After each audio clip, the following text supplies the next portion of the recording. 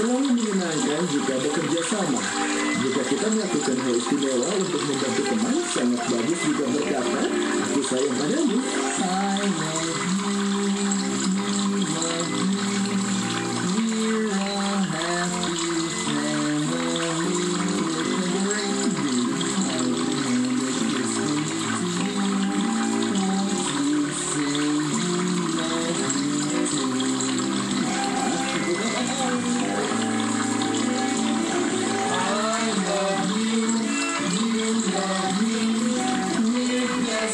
Thank you.